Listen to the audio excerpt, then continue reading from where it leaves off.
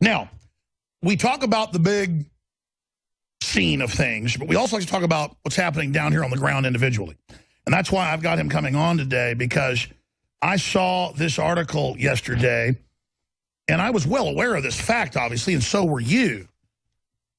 But to see it in Bloomberg business and to see that it's two of the biggest drug companies saying it and Chicago researchers and top genetic genome project group the federal government. I mean, it's just group after group coming out saying, biggest discovery ever. We discovered it. They're saying, give us prizes. Most cancers being caused because your autoimmune system's shutting off in the gut. It's like HIV. If your immune system's already run down, you, uh, get it, and then your body uh, basically stops fighting. It attacks your T lymphocytes that are the program cells that go out and tell folks who the enemy is. They're basically generals. Takes out your generals and your colonels down to your majors. But the gut is the is the major front line. And so when it turns off and stops communicating with the rest of the body and stops communicating with the white blood cells in the brain, it's game over. Folks, they knew this thousands of years ago. I quoted, Anthony quoted Hippocrates, we get the Hippocratic Oath, do no harm. They quit giving that 10 years ago, by the way, or about 12 years ago. No more, no more Hippocratic Oath for the doctors. Ought to be a red flag for folks. And I just thought about Group, who's been the strongest person out there. Talk about the studies, the research, the facts about the gut. And then I thought about, and how are we doing, Nico, getting um, the medical doctor on who they famously uh, yes, uh, Dr. Wakefield, who lives in Austin, who did a study showing that it, autism was being caused by the gut shutting off, and then he found vaccine uh, derivatives in the stomach, antibodies, and that that was linked to it, and then it was toxic, poisoning the brain. Well, point is, there's now hundreds of big studies coming out proving it. They've always known. They've been trying to cover it up, and group's been proven correct yet again. Now, it's not just probiotics that are needed, and we're going to come out with one soon. We're working on it years with Group. We want to have the super, you know, the very best. But whatever you do, there's a lot of brands out there. We'll get his expert view on what he thinks is good.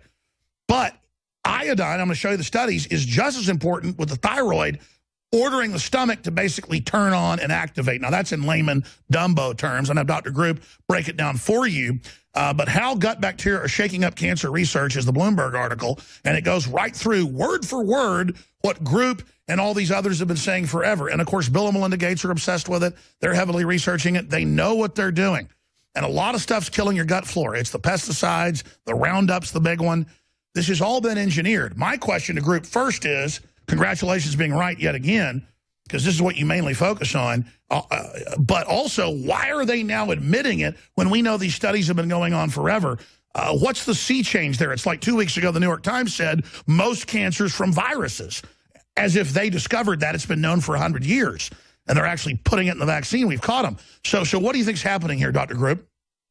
Well, I think they're being forced to join the bandwagon because they see the amount of money that's being made in the organic industry and in the natural healthcare industry, and they know that we're all putting lots of money and lot of, lots of time and lots of effort into educating the public. I mean, Hippocrates also said all disease begins in the in the gut. When I came out with my first book back in the late 90s, it was called Health Begins in the Colon. Well, disease also begins in the gut because we spent two years researching the root cause of all disease, cancer, illness, and we came back to the general conclusion that it's all caused by all these chemicals and toxins and GMOs and high fructose corn syrup and pesticide residue. And guess what? It all ends up coming and leaking through the gut into your body. That's how all disease happens. So, what's amazing to me reading the Bloomberg article yesterday or the day before when it came out here you have pharmaceutical companies investing hundreds of millions of dollars into probiotics, but they're still missing the root cause. You, you still have to address the root cause of the illness. It doesn't matter if you have the best probiotics in the world, which, by the way, you mentioned, we've been working on uh, some amazing technology that you're going to be the first, our company and your company is going to be the first ones in the world that come out with this uh, new probiotic formula, which has strains from 10,000 years ago. We were able to get some from up in Tibet in the Himalayan mountains, which I'm extremely excited about. But it all boils back to how the gut reacts with everything else in the body, and the gut is just a pipe. It's the outside. I mean, what you take in through the food and the beverages that you consume on a daily basis, the stuff that's not supposed to go into your body is supposed to go out the other end. The gut is just a tube, it's 35 feet long. If you were to take it out and cut it open, it would be the size of a tennis court. But what the pharmaceutical companies and the doctors, and by the way, big pharma and the medical profession, this was the, the highly guarded secret to health. They did not want you to figure out that if you heal the gut, you heal the body. So what do I call this video so people, when we put it on YouTube and Facebook, will care about themselves? Uh, biggest, you know, medical tyranny secret exposed. Uh, elite scared that this secret has finally gotten out because, as you know, we've documented, done hour-long shows. Bill and Melinda Gates, the elite, they're obsessed. They're all taking probiotics. That's how it leaked out. They know it's the Roundup. They know it's the autism. They know it's everything and they're doing everything they can to shut this down. This is a big victory that it's all coming out now. So uh, in a normal human, you have 100 trillion, let's say, organisms that are good, that are friendly, that are actually fighting for you. It's the army within your own body. well, let's explain it. They're the, the buffers that live in all the nooks and crannies, so bad bacteria and bad viruses can't move in. When they all get wiped out, the bad guys now have homes. And that's exactly what they do with the high fructose corn syrup and everything else in the food and the preservatives and everything well, Let me ask you that. What's killing our guts? And on top of probiotics, what are some of the better brands? How important is the nascent iodine? Because that is a plug. It's a win-win, folks. This is really the other part of the equation, just as important, according to you and others, as the probiotics itself, the thyroid, the nerves, the gut. Uh, if the fluoride's in there, it can't communicate properly. Explain that to folks. Well, that's another that's another attack with the toxic halogens because the gut, if you look at it, is the largest endocrine gland, and we talk all the time about the attack on the endocrine system, which is the thyroid, the pineal, the parathyroid, the pancreas, the ovaries, the breast, the testicular uh, functioning in males. All of these endocrine glands, the glandular system is what's being attacked, and there's a, a, connection there. And without iodine, iodine is necessary for all of our glands in the endocrine system to function. So what they do is they put fluoride, chlorine, bromide in the water, in the food supply, which shuts down our glandular function. As a matter of fact, estrogen itself limits the absorption of iodine. So with all the xenoestrogens too. So iodine is an important part and that's what they're forgetting. You know, you have to have you can't just have probiotics without all the other things working in in unison as well. They'll probably end up maybe putting some iodine in with the probiotics, but it's an essential factor for a functioning endocrine system. If you if you don't have the proper amount of iodine in your body, then your thyroid is malfunctioning, then your pancreas is malfunctioning, your gut is malfunctioning. T3 and T4, which are produced by the thyroid, have been shown to protect the gut mucosal lining, to protect it from leaky gut syndrome. Hashimoto's has been associated with a leaky gut. So, thyroid, mental, Everything is linked to the gut. I mean, the Russians and the Germans knew that years ago when they analyzed the appendix, which our medical system still says the appendix is useless. They found that the appendix is the brain of the body, and the brain is actually located at the small intestine and large intestine juncture.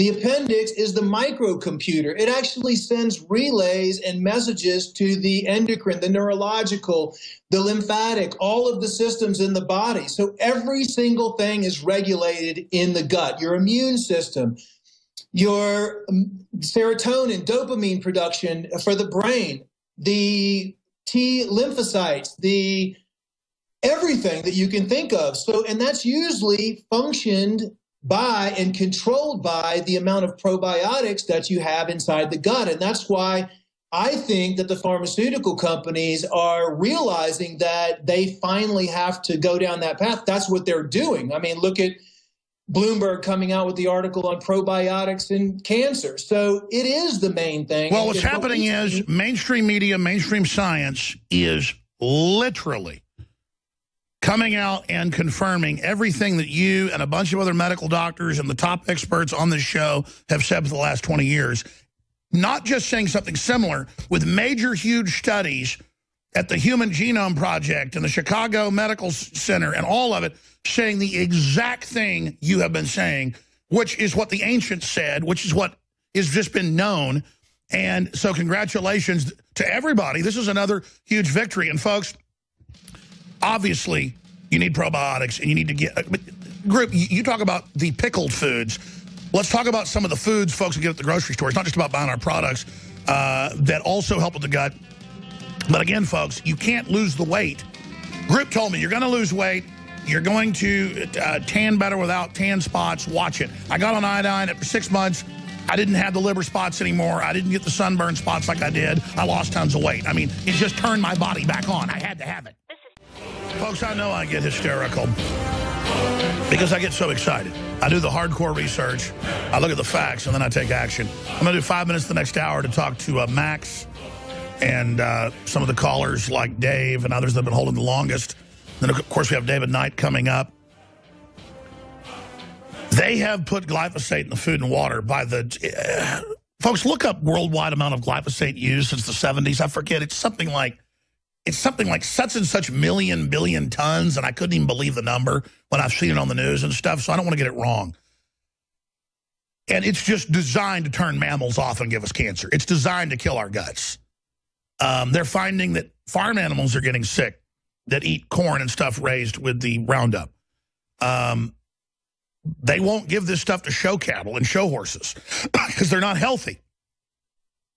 They won't give vaccines now, veterinarians to their own animals, except maybe once.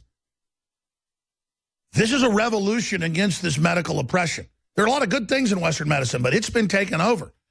And the fact is, every day I see top news admitting and coming out with the studies they already had, going, okay, you're right, it's true. Group, what are the good ways to get probiotics? What do you think the best brands are? Obviously, you've been super neurotic. We've checked into it in a good way. You are coming out with stuff that people basically only get at medical clinics in Germany and stuff, trying to bring it to the public.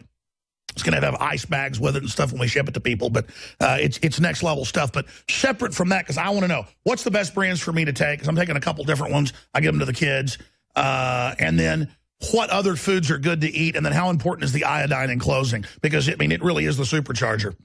Yeah. Okay. So as far as the best probiotics to take, I mean, I I spent seven years putting together the product that we currently have called Floratrex, and yours, the one that we're going to be coming out with is even going to be better. It has 50 billion organisms that are live inside the formula and it's 18 different strains. We're going to add an additional six strains and then we're also going to add that unique those unique strains that we got from high up in the Himalayas. So that's available right now. And you should have yours uh, in stock probably, I'm hoping, in the next few months as well.